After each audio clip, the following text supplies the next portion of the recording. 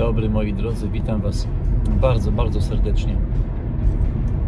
Otóż y, następna seria mojej emigracyjnej y, wędrówki. Jak wiecie, wylądowałem w Austrii. Wylądowaliśmy w Austrii i nadszedł dzień, gdzie stanęliśmy pod y, obozowymi bramami, które były zamknięte. Była to wczesna godzina rano, około czwartej rano. Po nieprzespanej nocy na złomowisku stanęliśmy pod tą bramą. W sumie usiedliśmy pod nią, dlatego że próbowaliśmy jeszcze ukraść trochę snu, dopóki coś się nie zacznie dziać. Nie byliśmy pewni, czy jest to dzień, w którym obóz będzie przyjmował. I tak y, siedząc pod tą brawą, zauważyliśmy, że no, coraz więcej ludzi zaczyna przybywać. Podszedł do nas jeden Czech i pyta się, skąd y, jesteśmy. Takim fajnym czeskim językiem mówił skąd wyje? No mówił, że z Polski. On mówi, że ja już tu trzeci dzień przychodzę, mówi. I no, bramy obozu ciągle zamknięte. Przeraziło nas to trochę. No, ale y, byliśmy dobrej myśli. A więc y, kiedy już ta grupka ludzi zaczęła być troszeczkę większa, postanowiliśmy wstać już z pozycji siedzącej, obróceni do tyłu, do tego tłumu, który tam stał za nami. Jeszcze głowę opera, opieraliśmy o mm, kraty mm, tego y, ogrodzenia. Też próbowałem jeszcze ukraść jak najwięcej snu. Nie wychodziło to za, za bardzo dobrze. W pewnym momencie mm, zauważyłem, że pojawiają się mm, światła już w niektórych y, pokojach tego obozu. Y, ten budynek, mm, przed którym staliśmy, mm, były to dawne koszary wojsk rosyjskich. Y, dlatego, że wojska rosyjskie były w Austrii aż do roku 1955 w którym to roku zaczęły wojska rosyjskie opuszczać Austrię. I było to wielkim świętem w Austrii. Z reguły obchodzono go, obchodzą to do tej pory, ja myślę, w oktober, czyli w październiku. Nie pamiętam dokładnie mm, którego dnia, ale pod koniec y, października. Jest to wielko, wielkie święto y, narodowe w Austrii. A już kiedy przebywaliśmy wśród y, Austriaków, y, pokazano nam jednego szylinga, gdzie po drugiej stronie tej monety były dwa symbole. Był młot i sierp połączony rozbitym y, łańcuchem. Także widzicie, oni też uwolnili się od, od Rosjan. A więc stojąc twarzą do tego budynku, oparte miałem, opartą głowę miałem o te szczeble metalowe i w pewnym momencie e, chciałem się odwrócić i zobaczyłem, że za mną stoi setki ludzi wiecie, i to mnie tak normalnie przeraziło. Ja, ja nigdy bym nie przypuszczał, że y, takie wielkie zgromadzenie będzie pod tym obozem. I co zwróciło moją uwagę, było to, że wśród tych ludzi stała taka starsza już pani, bardzo elegancko ubrana i łzy jej tak płynęły, wiecie, po policzkach. I, I, to mnie tak tknęło, wiecie, że mówię do swojej dziewczyny, słuchaj, tutaj trzymaj te paszporty, jeżeli otworzą bramę, daj im te paszporty, a ja zapytam się mm, tej pani, co jest, y, co jest po prostu grane. Ona stała może, nie wiem, z 8-10 metrów y, ode mnie, także zacząłem się przeciskać w jej kierunku i pytam się, czy, czy pani jest Polką. Ona mówi, że tak. Nie mówię, "Mm, jaka przyczyna, że tak pani płacze. A ona mówi, że zostaliśmy mm, rozdzieleni z mężem. Mąż wszedł już do obozu trzy dni temu, a ja jestem poza obozem. Jeszcze i nie wiem, kiedy się do niego dostanę. Ja mówię, jaka była przyczyna tego, że tak się stało. No ona mówi, że po prostu mm, ludzie byli tak aroganccy parę dni temu, że ona chciała się dostać do męża, który stał przy, przy bramie, ale po prostu jej ludzie nie, nie przepuścili i została za. Ona mówi, że wzięto około 50 osób i jedną z tych osób był jej, jej mąż. Także ja jej mówię, mm, wie pani co, niech mi pani da paszport. Tam stoi moja dziewczyna zaraz przy, przy tych, y, przy tej bramie. Ja mówię, nadarzy się okazja, to po prostu pani paszport y, dany od razu do tych urzędników, którzy tam będą obsługiwali to. Ona tak y, z początku mm, się bardzo wahała, nie wiedziała jak zareagować. Ja mówię, proszę mi wierzyć, że no, zrobię to, co jest y, właściwe.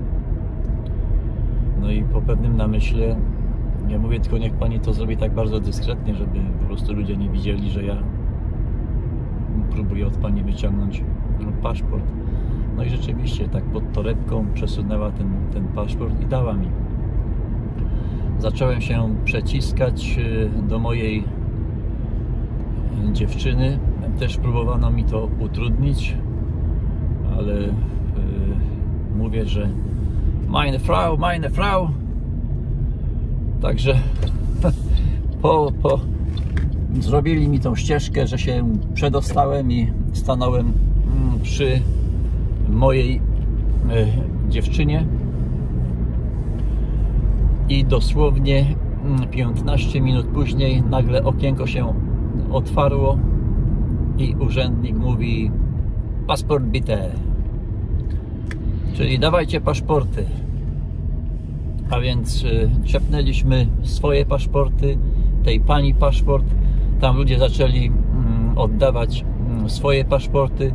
Ktoś poprosił mnie z tyłu, żebym wziął od niego paszport i mm, przekazał do tego urzędnika.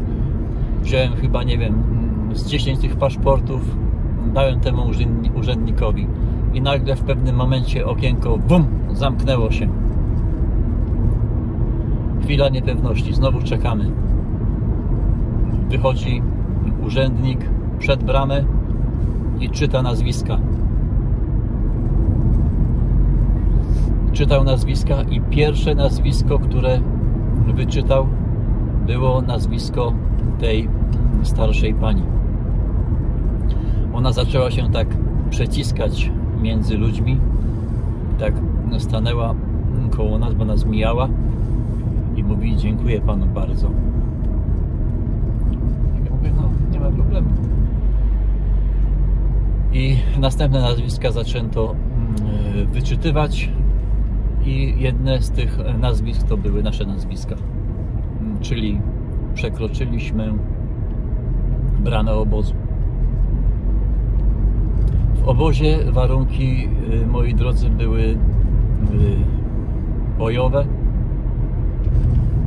Wprowadzono nas y, w wielki korytarz z ogromnymi schodami. Wiecie, jakie to stare budownictwa mm, były, nawet i w Polsce te stare mm, budownictwa, czy nawet szkoły. Mm, To te, te korytarze były takie duże, schody olbrzymie. No i to y, było podobnie właśnie w tym, w tym obozie. Wprowadzono nas y, w pewną salę. Zaczęto brać mm, odciski palców, czyli potraktowano cię jak kryminała jakiegoś, no ale z kolei się nie można im dziwić, dlatego że po prostu nie wiedzieli, kim jesteś. Także nie ma co się dziwić, że brano odciski palców. Po e, zrobieniu tych rzeczy pokazano nam salę z łóżkami. Salę, e, gdzie były serwowane e, posiłki. I wiecie co? Podczas właśnie tej całej tego całego procesu usnąłem na 15 minut na stojąco. Byliśmy tak zmęczeni. Moja żona zresztą, moja dziewczyna mówi, że ja chyba też przysnęłam, mówi przez, przez chwilę. Że tak, tak była zmęczona, wyczerpana. Później pokazywała mi nogi. Wiecie, dziewczyny z Polski, no to elegancko ubrane zawsze tym bardziej ta moja dziewczyna to potrafiła się przebierać kilkanaście razy podczas dnia. Także y, ściągła buty i jedna wielka rana odcisków. No ale co było plusem tego, że po prostu nie byłeś już bezdomnym i że miałeś pewność posiłków.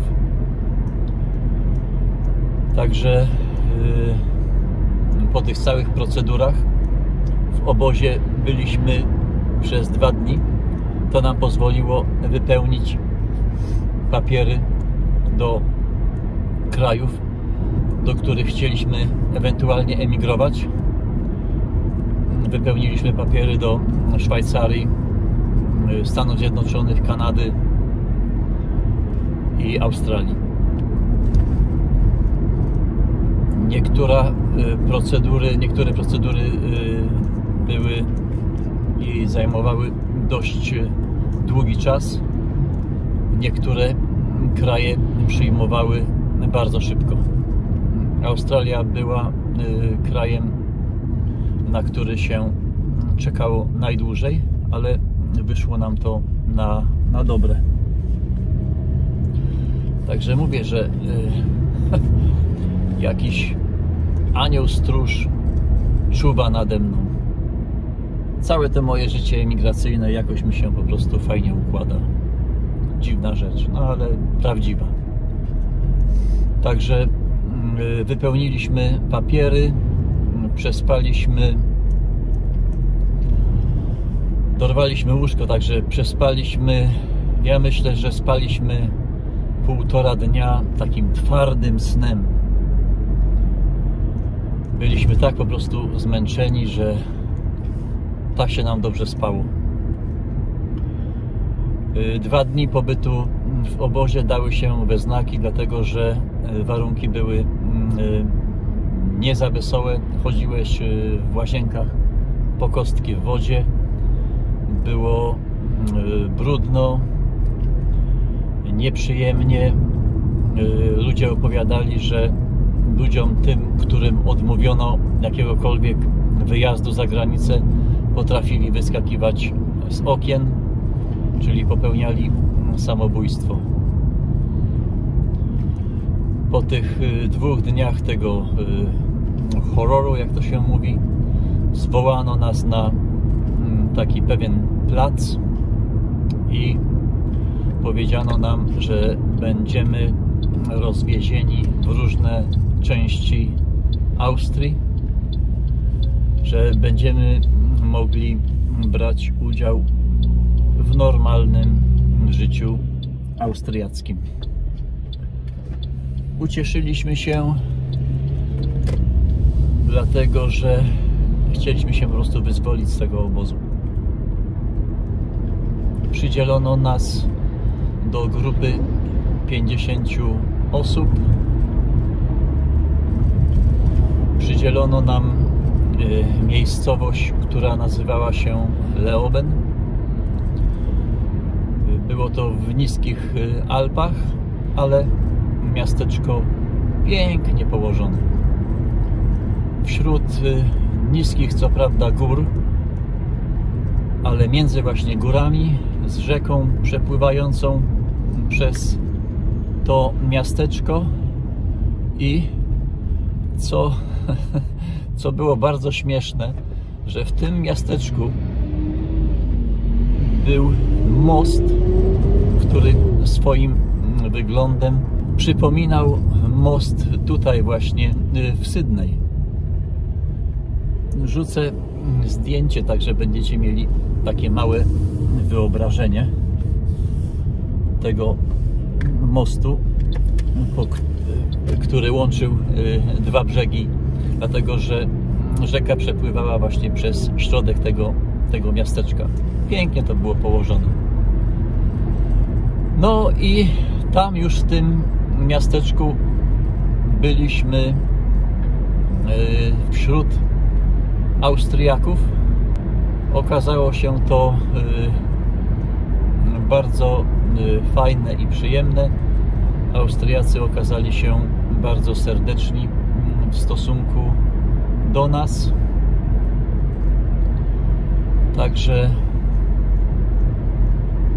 ta nasza emigracja zaczęła się na samych plusach. W Austrii nie można było pracować legalnie. Wytrwajcie jeszcze tą moją emigracyjną spowiedź, dlatego że mnie się wydaje,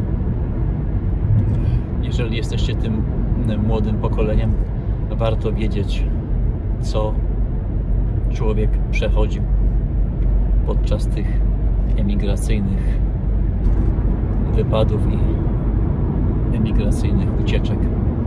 Także na razie trzymajcie się zdrowo i spotkamy się już niedługo.